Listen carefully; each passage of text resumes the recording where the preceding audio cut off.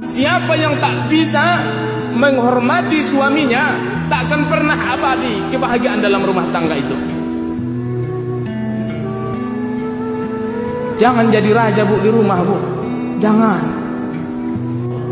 Dosanya itu bu bukan masalah sifatnya bu. Dosanya itu dilaknat oleh Allah. Bahkan orang wanita yang sengaja membelakangi suaminya waktu malam dengan alasan kebencian, ibu berkelahi di rumah, pas tidur di kamar, ibu sengaja membelakangi suami karena benci sampai subuh malaikat melaknat seorang wanita seperti ini. Paham ya bu? Jangankan bu kata Nabi bu surga Bau surga pun tak berhak wanita seperti ini mencium bau surga itu